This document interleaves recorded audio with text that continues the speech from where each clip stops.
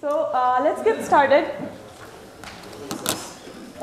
I'm Swati and I will be teaching today's class as well as the next class for MAE 165 and 265.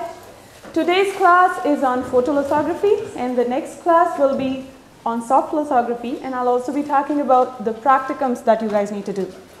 Uh, before we be- begin, did everyone get my email regarding the uh, groups for the practicums? Okay, you did. Uh, I think there are a couple of students who sent me an email. They enrolled like really late.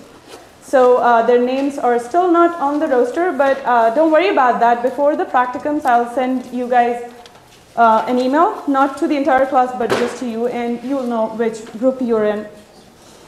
Before we have all four practicums, um, the four practicums are on 30th April, May 1, May 2, 14, and 16. Before all four practicums, you will have kind of an introduction of what you are going to do in the practicum. I'll be talking about photolithography because uh, I'll be taking your photolithography practicum in, in the clean room also. Then uh, I'll, I'll also talk, I'll give you a brief intro of soft lithography. Then there'll be Ben Dolan from Rapid Tech. He'll be teaching a class.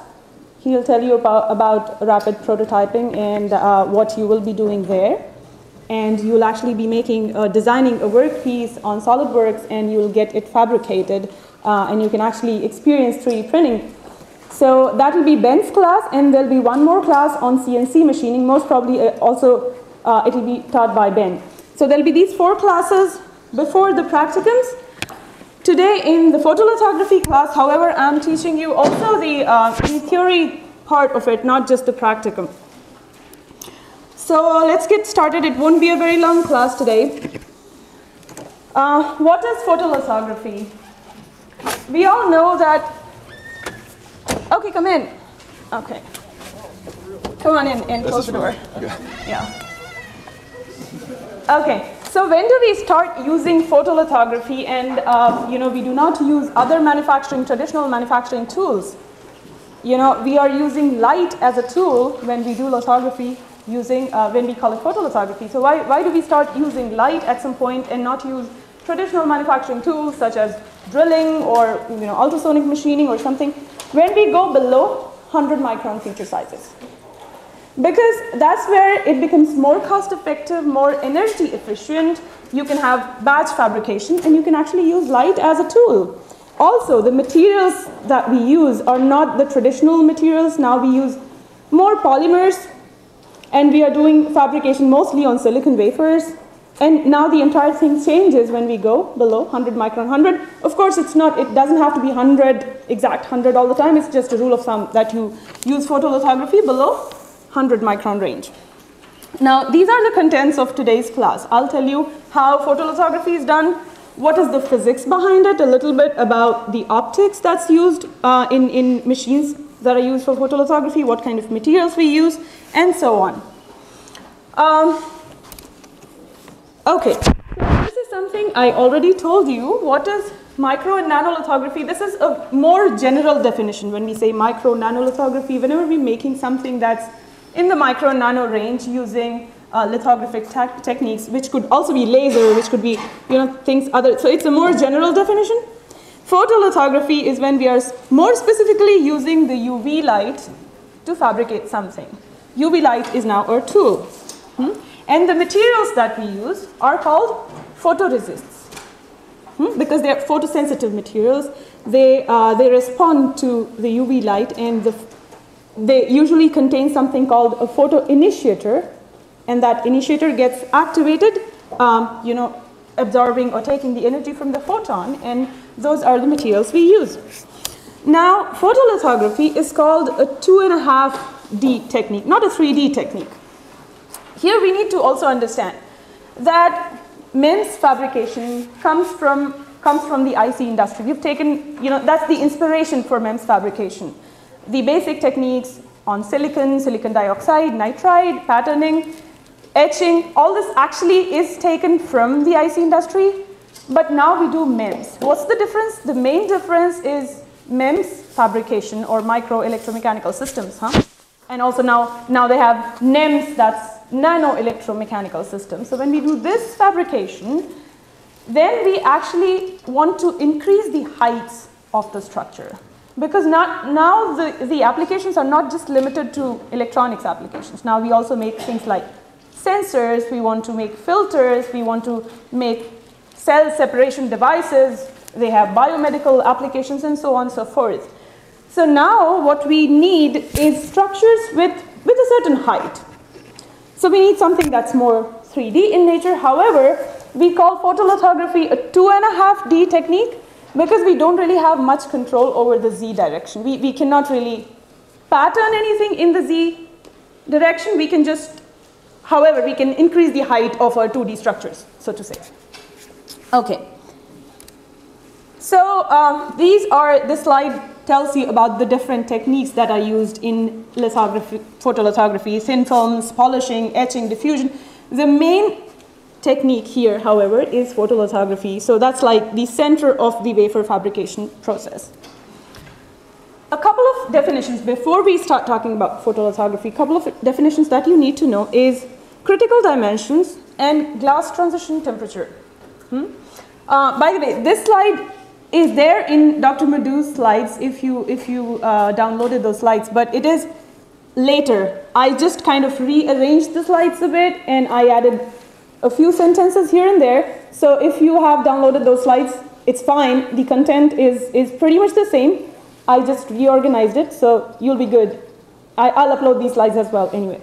Um, so critical dimensions, what is it? The smallest feature size that you make in your pattern something that you're not making, you know, once by fluke. No, you're repeatedly, reproducibly making, you intend to make that structure, whatever is the dimension of your smallest structure uh, on a pattern is called the critical dimension.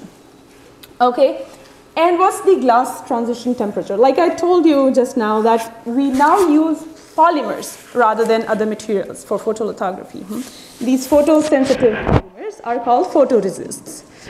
Now polymers have this very special property called glass transition temperature. Any material behaves like a glass, hard and brittle, below this temperature. Hmm? Below this temperature, not above. Above this temperature, it is more tacky, it's more like a liquid, it, it flows. But below the glass transition temperature, the polymer behaves more like a glass. And in photolithography, we, we usually do everything below the glass transition temperature. So when the material is glass-like. We don't go above it because of a couple of reasons. One of them is that it picks up dirt. The, uh, we, we need to be very, very sensitive because we are making something that's micro nano. So if it picks up a few nanoparticles from here and there, it's all gone. Hmm? So that's one thing. Another thing is that it may spoil your profile. You know, you may, you, your structures may kind of change their shape slightly once they're above the TG. So we want to make sure that we always use uh, a below TG temperature. However, oh, I forgot the laser pointer. However, one important thing here is that the polymers that you use, the photoresist that you use, they tend to change their glass transition temperature during the process. And I'll, I'll get to it and I'll tell you why that happens. We, we use a couple of baking steps, temperature um, related steps. And then what happens, we, we actually go above the glass transition temperature of the polymer. But no, we actually don't because as we increase the temperature, also the TG goes up a bit. Okay, so we talked about photoresists. Not all photoresists are the same. There are two types of photoresists. One is called positive and the other one is called negative. Hmm? Now what's the difference? The positive photoresist, all, all polymers have these polymer chains, huh? long chains, molecules are like long chains in polymers. So what happens, these chains get degraded when the polymer is exposed to the UV light. And in case of negative resist, these chains actually cross-link with each other. And they, so, so that portion of the material that actually becomes harder than the rest of the material.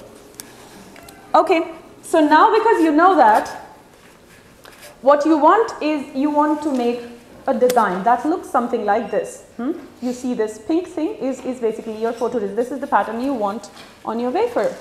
Hmm? And you are given a positive photoresist. What will you do? You know that the material that is exposed to the UV light gets degraded. Hmm?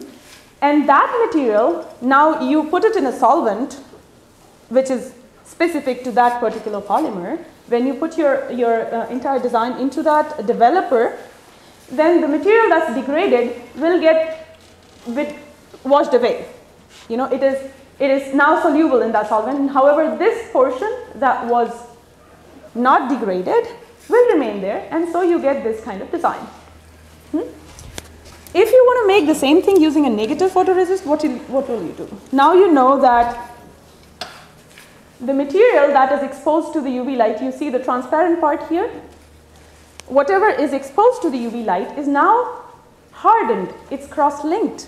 So that's the portion which will remain there and the rest of it, the one that's here in the middle, not exposed to the UV light, will now get dissolved, will now get washed away when you dip the entire thing into a developer. Hmm? What is this? This is called a mask. This is nothing but a pattern, a design that you make on a quartz slide. It's, it's usually, don't get confused, people call it glass slide, but it's not really glass because if you know, glass is not, it, it, glass is only partially transparent to UV and that to UVA, not UVB and C, like the shorter wavelengths. Glass is opaque to shorter UV wavelengths, so we do not use glass here, we use quartz, okay? So on a quartz plate, very flat quartz plate, you print something which can be done using uh, you know, various kinds of printing depending on the feature size you want to make. If you want to make up something that's only down to 10 micron, you can just use rather traditional inks you know, you can actually get like how you print it on a transparency or something like that. But if you want to go to one micron feature sizes, then you need to use something like electron beam lithography or you need to use a chrome ink rather than just using uh, you know, a traditional ink. So we, will come to that, we'll talk about mask fabrication also. So anyway, this is just the main concept of photolithography that if you have a positive photoresist, you actually make the exact same pattern on your mask that you want on your structures. But if it's a negative photoresist, what you will make is the opposite of it.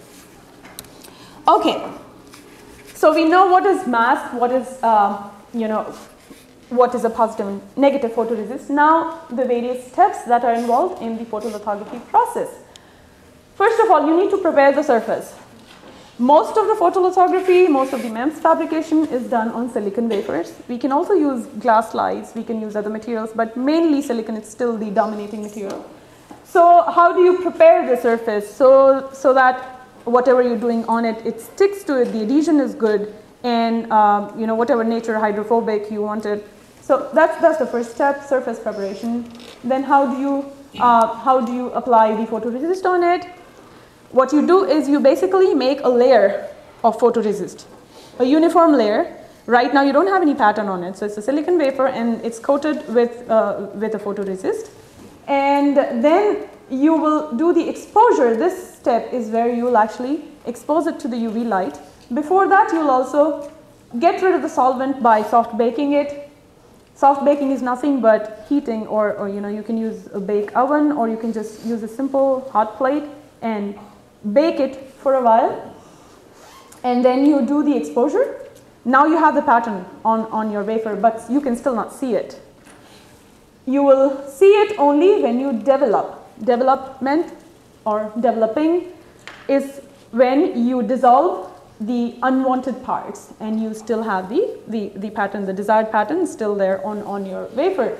So that's the sixth step. After that, after now you already have the structure on your wafer. You have what you wanted. Now what, what do you do after that? Hard bake, etch, resist, strip and then inspections are basically done if you want to go one step further. Like you have a polymer pattern on your wafer but maybe that's not your final destination. You don't really want that. What you want is you want, so you created some sort of windows in your wafer using a polymer and now you want to do something to that silicon or the silicon dioxide that was exposed through those windows, you really want to, uh, you know, etch that away, you want to create patterns over there, and you do everything, and then finally remove the resist itself.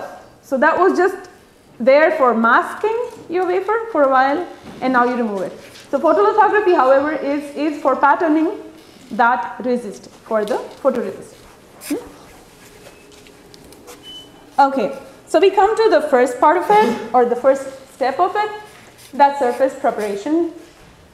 When you do something on silicon wafer and you use an organic polymer, polymers always have, or mostly have, organic solvents in them. What you want is the surface to be as hydrophobic as possible because that leads to a better adhesion.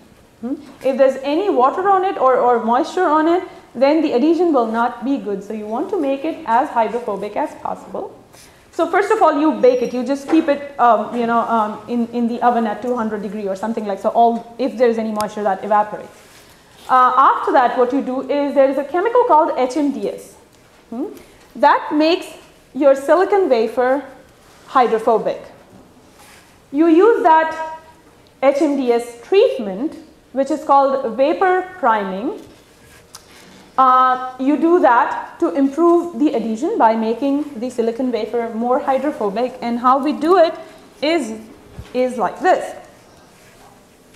So this is the reaction, this is what HMDS do, does to your silicon wafer. One thing that's important to note is silicon wafer pretty much always has some native oxide layer because it's never, it, it could be 10 angstroms, but it's always there. So uh, silicon wafer always has some native oxide and oxide is hydrophilic. So you need to get rid of the oxide. So um, in most cases, if, we, if you want a bare silicon wafer, we'll usually do some etch for oxide and get rid of it right before uh, the fabrication, right before the photolithography. And we also do um, uh, HMDS priming uh, to, to convert these SiOH uh, groups to, so the H is replaced by SiOH3, uh, CH3 thrice, so trimethyl something. So this is what we do with HMDS, which makes the surface non-polar and therefore more hydrophobic. And we can measure this by measuring the contact angle. That's like a very simple way of knowing how hydrophobic your surface is. Just, just check the contact angle. Okay, now comes the photoresist application part and you will be doing this in your, uh, in your practicum. And uh, this picture is actually from uh, of a spin coater that we have here in Bion. Uh, this is a silicon wafer placed on a vacuum chuck so over here, this uh, small black thing will actually, the, the wafer sticks to it because of the vacuum. And then you can rotate it. What you do is just simply pour some, dispense some photoresist on, on it. And then on a specific RPM speed, you can rotate it and this is a very nice, reproducible and simple technique of making a layer of the desired thickness onto your wafer. You know, you can, uh, all you need to do is go to 3000 RPM for, for a certain viscosity of the polymer. Just go to the RPM that's, and usually it's, it's there in, uh, you know, it's specified by the manufacturer that, okay, if you're using SU8 and you have this viscosity of SU8 and you go to 3000 RPMs, then you make a 30 micron high thick layer you know. And whatever extra, you don't need to worry about how much photoresist you pour on top of it. Doesn't have to be exact 5 ml or 2 ml or you know 3 ml because whatever excess um, uh, so, uh, photoresist is there will actually just uh, be uh, you know kind of be thrown. It's it's it'll actually uh, we will close this um, spin coater and you will only get 30 micron layer no matter how much solvent, how much photoresist you apply onto it. And you'll see, and that, that's why every time you, you do this process, your uh, spin coater will get really dirty because you'll have all the excess SU8 everywhere on your spin coater and you need to clean it. Um, so anyway, that's a very simple technique, reproducible. And uh, uh, these are the quality measures, time, speed, thickness, uniformity. Uh, in all the slides at each step, you will see that pretty much these four things are your quality measures because you need to always check pretty much after every step. Do you have a thickness that you wanted? Is it uniform? Was there a particle? If there's one bubble or one particle, that can spoil your structures. So that's why clean rooms are like so uh, you know expensive to maintain because they and, and when you go there you need to uh, you, you gown up and you need to make sure that you you tie your hair and, and so on because uh, otherwise, even if there's one small dust particle, the entire thing is gone. So of course, every time you check for particles and defects on your structures. And so this is how you can do the, so this one, this picture is like a bit more sophisticated where some, there's a, there's a dispenser for dispensing the photo, You can, what we use, we simply use droppers and we can, you know, dispense approximately five milliliter of, of the photoresist and then, um, then we spin that thing. Now there's this formula which decides what should be the rotation, what should be the speed for the photoresist that you're using. In this formula, everything except the RPM, which is omega here, and the viscosity, pretty much everything else is constant. It's a constant that depends on the nature of your material. So you don't really need to worry about that like I said, the vendor, the manufacturer will always specify that for this particular viscosity, you need to use this RPM, but you should know how, how we get that. So this is the formula and this is how you find out what should be the RPM. Okay, now you have that layer of SU8 or, or any, any photoresist by the way uh, on, onto your structures. Now what do you do is you bake it you just keep it onto a hot plate at some specified temperature and you get rid of the solvent which is there. Because you know what's the next step? Next step is you're, you're going to expose the entire thing to the UV light. You're going to attach your wafer to a mask. If your polymer is not dried completely or it has any salt, it will damage your mask. And those masks are like really expensive. Those masks are, uh, you know, if you, if you have a very small feature size, very expensive masks, and you don't want to damage your mask because that's something you use all the time. So uh, the most important uh, reason for doing a soft bake is to get rid of the solvent. Um, and then, of course, it also improves adhesion and it also increases or improves the uniformity of, of your layer. Okay, this is the important step this is where we are actually patterning our wafer. So we have something like this, which is a mask. There's a UV light source, and there's this wafer, uh, wafer with a coating of polymer that we already prepared. Hmm. Now, what happens when you expose it to the UV light? Uh, there are some photosensitive components or photoinitiators that get activated when you expose the uh, entire thing to the UV light. And like we talked about negative and positive tone resists, we need to make sure that we do not underexpose or overexpose. We need to make sure that whatever is the dose of UV light dose is, uh, is we, can, we can simply calculate it depending on the intensity of, of our lamp. Whatever is the energy required for that process or for that thickness, we, need, we should not go beyond that. So, and we also, if we do it if we don't give enough energy, then maybe you'll lose your structures. Maybe you'll not get the shape that you want because the bottom of your structure, the bottom layer, did not really get enough UV light. And if you overexpose it, then the top layer got too much UV light, and that's called T-topping. So we need to make sure that these parameters are taken care of.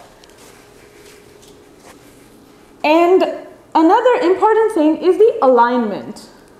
When you're making something you need to make sure that one, it is aligned, the first layer of your structures is aligned with the silicon wafer. Now silicon wafers, I don't know, uh, many of you who are undergrads may not have actually worked in the clean room, have you?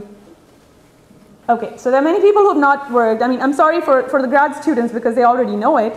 Uh, but silicon wafer is uh, basically, it's a single crystal that I'm sure uh, Dr. Madou must have taught in some of the classes before, or maybe he will be teaching, the entire silicon wafer is a single crystal and it has different orientations you can specify, like you can buy 100 plane uh, wafer or 111 plane wafer or something like, and the, the wafer breaks in a straight line, always in the direction which is specified when you buy it. Okay, so you need to make sure that your mask is, the, the designs are aligned in such a way that after patterning the wafer, if you break it, it breaks between your designs. You know, you always give some space there and you want your wafer to break in those straight lines. And in fact, when we do the practical, I'll make sure that I'll give you some used wafers or something and just practice how to break, break the wafer, which is like, it's a, it's a fun thing to do. So, uh, yeah, but I'm not giving you new wafers for fun. I'll just give you the used ones. Um, so anyway, um, so that's the first layer. The mask needs to be aligned with the wafer. And what's the second layer? Well, you can actually make multi-layer structures with your photoresist. What you do is you make one layer of your pattern and you, you develop it, everything is done. And after that, well, you can make another layer using the same entire same process. So it looks something like this and people, people make you know, multi-layer structures using these kind of things. So in that case, you need to align the second layer onto your first layer. And because these structures are micro nano, you cannot really see those structures. you cannot just go and you know say that, huh, this is how this is aligned. No, because the gaps are mic, you know, in, in micron sizes. So you need to do it under a microscope. And this machine is called MA56. We have that in Bion. Uh, this machine actually, this guy is looking into the microscope. And here somewhere there's a mask and the wafer. They are in, in contact with each other. And what you need to do is you need to align. So you, you'll make some alignment marks on your mask and you'll, you'll have one mark overlap with the other mark and that's how it's, it, it may take hours to actually align your first layer with the second layer. And in some cases you also do double-sided alignment for MEMS fabrication sometimes. So alignment, now when you do the alignment, over here I said there's a, there's a mask and there's a wafer. In most cases, you'll have the mask touching your wafer. And then you can, you can uh, expose the UV light through it. Hmm? But suppose you have a material that can damage your mask no matter what, no matter how much you soft bake it. it it's you know, maybe a temperature sensitive thing or something. And then it may damage your wafer what you do in those cases? You have to keep your mask a little bit away from your wafer. And in that case, you will get some diffraction from here. And you will not really get the exact same structures that you wanted. Hmm? There is a third technique. A third technique where what you do is you, between your mask and the wafer, you have another lens. And you actually project the image of what you did here. So this is a focal uh, plane and you have another lens on the focal plane and then you are actually projecting the image that was there on the mask onto your wafer. Hmm? Now here the optics become a little more complicated. In these two cases it's fine.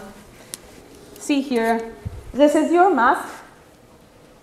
B is your feature size, the window that you want. And Ideally, it should look like this, but uh, this is the intensity. But however, you'll get more intensity in, in the middle and may get some diffraction at the edges. Depends on S. What is S is the gap between, the between your mask and the wafer.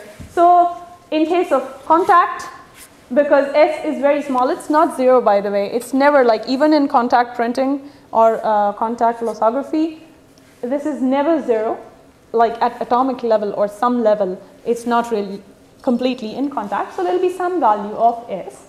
And in case of, of as you know, as you go far from your wafer, S increases, and then that's how you, you know, then you get, get don't get as good structures as, as you would in contact.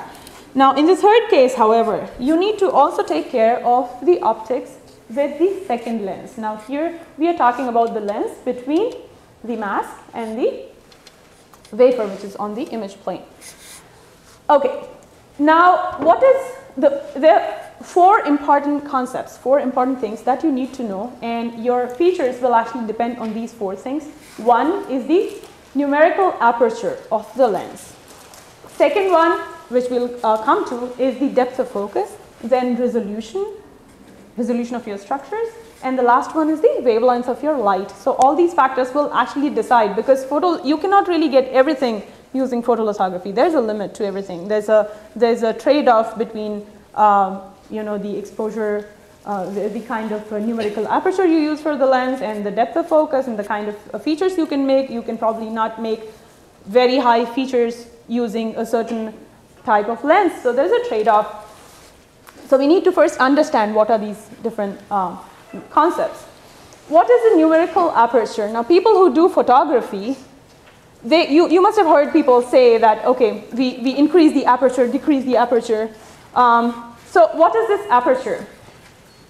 Uh, see this picture, this theta, which is uh, actually half, one half of the angular aperture, is called the numerical aperture of a lens. And how it is defined, NA is equal to n sine of this angle theta. Hmm? What is n here is the refractive index. So that's 1 for air because we mostly do everything in air. So that's, we, we kind of assume that it's 1. And then sine theta is what your numerical aperture is. And so what's the maximum value of aperture for a lens? Is 1, right? It's sine theta. That's maximum sine theta is 1. So as long as it's, it's done in air, the maximum value of aperture is about is 1 and actually practically people have gone to 0.8, 0.9 but nobody has actually achieved 1 hmm? because anyway what is good about having a bigger numerical aperture is the bigger your lens is the more lights you will be capturing. The more diffracted lights you'll be capturing. So finer objects uh, can be uh, can actually be seen. You will have a better resolution. The, the more light more diffracted light you capture. Hmm? Um, and this of course becomes a much bigger issue when you're doing something in 3D rather than 2D because you don't much care about you know, different heights of the structures in, in, in 2D or IC uh, related uh, designs. So, and what is important to understand is finer details or the more closely packed designs, the high resolution designs, they give much higher angles of diffraction, so much higher theta. So you need a bigger and bigger lens to capture more and more light. But how big can you make it? I mean, you cannot really make a very big, uh, how big can you make it? And also, how big is, uh, you should make it because as you increase the numerical aperture, you decrease the depth of focus. Hmm? Which I'll tell you in the next slide. You see these two pictures? If your lens is bigger, then it forms a cone. See the optics. You form this kind of cone and then this thing here is the depth of focus. So the bigger numerical aperture, the smaller the depth of focus. And in this case, if the lens is small, then the depth of focus is large. Hmm? Why do you care about depth of focus? So if you do photography, for example, what, what does it mean to have a bigger focal length? If I want to take a picture of someone sitting in the front row and someone sitting in the last row, I want both these guys to be in my focal length because I want both their faces to, you know, to, to I want to be able to recognize both. So, uh, however, if I want to take a picture of someone sitting right in the center, or if I want to just take a, a close-up picture of, of a pen or something like that, then I don't really care. Then even if my focal length is this much, it's fine. So when we do multi-layer photography or uh, photolithography, similarly, it's the same concept. If we have two different structures, two different uh, you know, step-like structures or something, I want all those points to be in my focal length.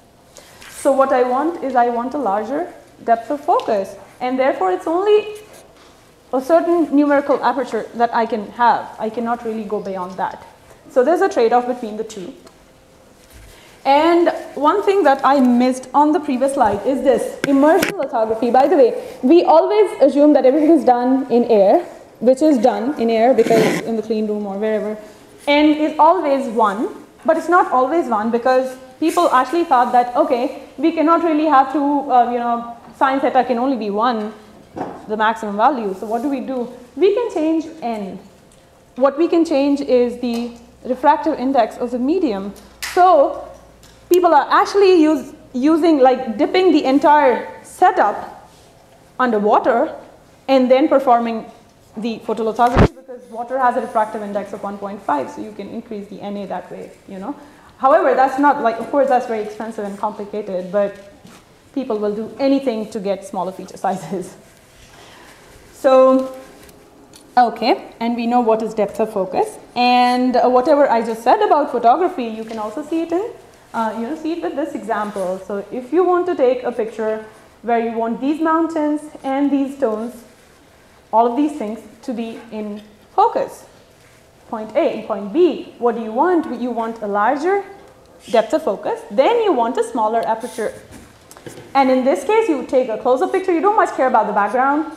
In that case, you want to get all the details of the flower. You, get, you want to get all the diffracted lights. So you want to use a lens with a wider aperture. Okay. The fourth thing is resolution. This, you don't, don't need to worry about the derivation of this formula. You need to, to go and solve Maxwell equations for, for getting here, but so that's beyond the course. Uh, but you just need to kind of know this formula and know how resolution and sine theta, the numerical aperture and depth of focus, how these things are related to each other. And if you increase one, the other goes down. So you need to uh, kind of just, just get a hang of this. You should know how they are related. You don't need to memorize it or something. Okay, and the last thing that affects your uh, resolution or, or the feature sizes is the wavelength you can only, um, you know, the smaller the wavelength gets, the finer features you can get. Hmm? Now, also, the smaller the wavelength gets, the more expensive and difficult it becomes to, uh, to have that laser. We perform most of the photolithography work still at 365. However, if we, if we go to 248, we can have smaller feature sizes.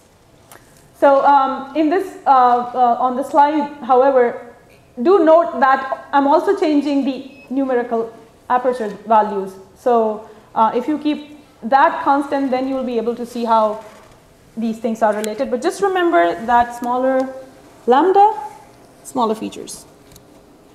Okay, so we are done with the optics part. We are done with the exposure part here. Now, what's the next step? That is the post-exposure bake. Now some processes may not have a post-exposure, that depends on the chemical that you use. I added this step because in your practicum you'll be doing photolithography using SU8 and in case of SU8 it is a very important step. Post-exposure bake is actually when most of the cross-linking happens. When you expose the polymer to the UV light, it only initiates uh, the photogenerators but the cross-linking actually takes place during the post-exposure bake when you do the heat treatment and it also improves the adhesion so this is a very important step for SU8 photolithography and for some polymers it may not be important it may not be there at all. Okay, now you cross-linked the polymer or degraded the polymer wherever you wanted. You've done, you've done the depatterning whether it was a positive resist or negative resist. Now what do you do? Now you need to get rid of the material that's unwanted, that's uh, you know on those places where you don't want your pattern. So you call it develop, you use a specific developer for some uh, positive photoresist, it can actually be as simple as acetone or even water. But in case of negative photoresist, it's, it's usually more complicated. You need to buy the developer for your, uh, for your um, polymer, for your photoresist. So you dispense some developer onto your wafer now and now you will see the patterns. Till now you actually did not see the patterns.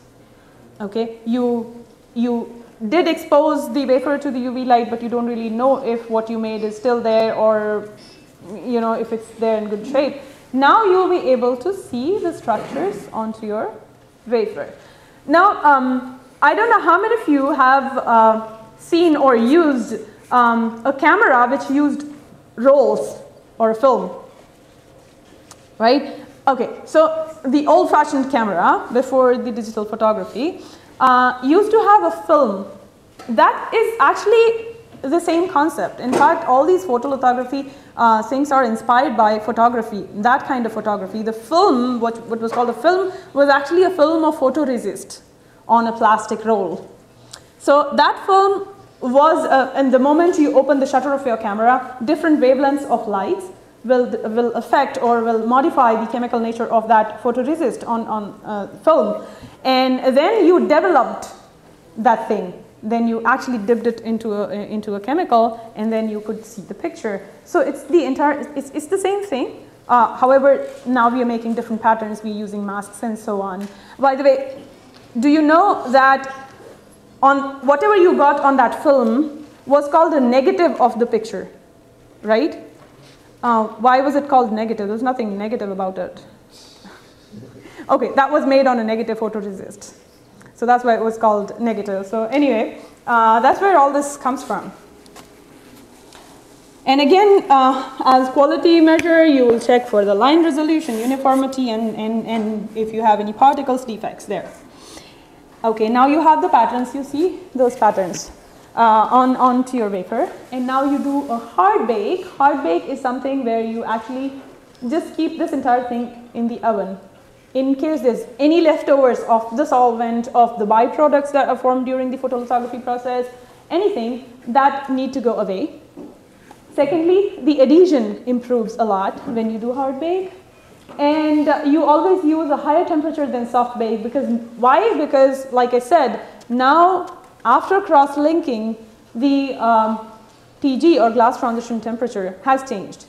Now it has gone slightly, now it is slightly higher than what it was in the beginning. So now you can actually use higher temperatures and uh, it will still not melt. Okay, and you do the inspection. Now that's a simple thing. You just go and, and check it under the microscope and if you, if you have like very fine features, then you may need to do uh, SEM metrology or so on.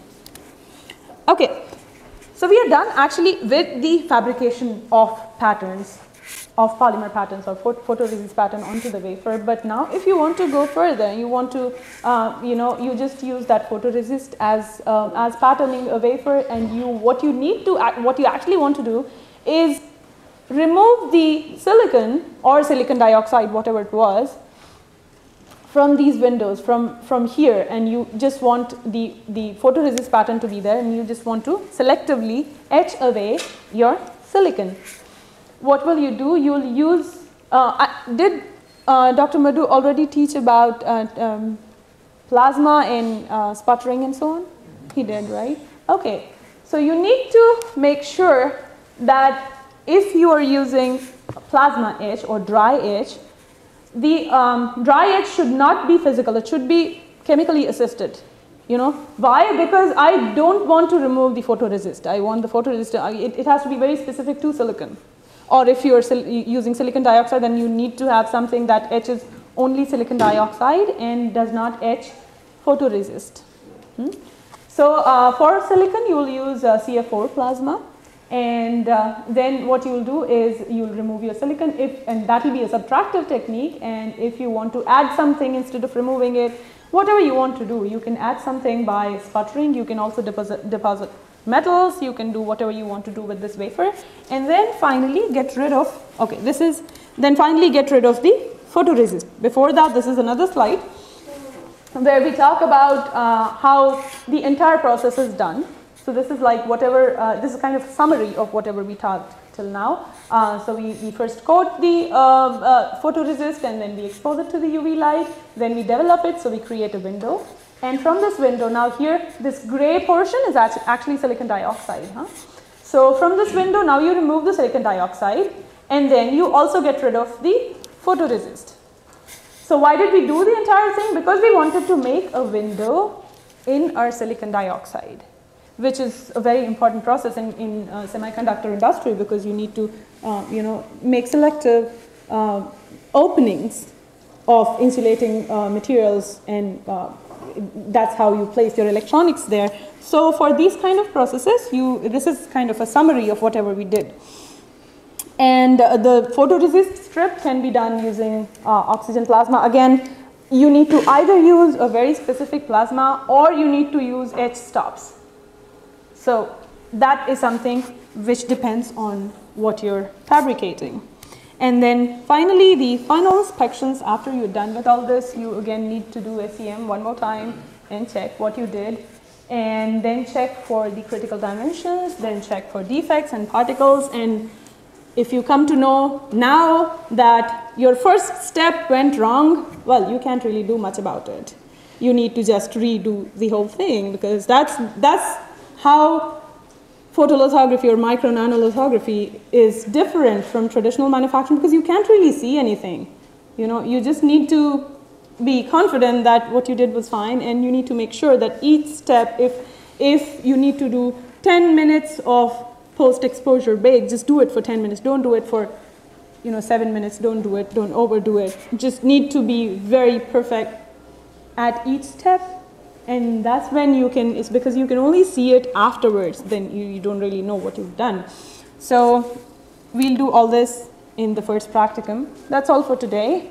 And uh, next time I'll complete the photolithography class. There are a few more things that we'll talk about. For example, mask fabrication and, and a couple of more things.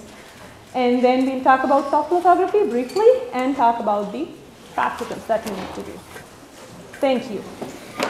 So I'll see you on Thursday. Oh, thank you.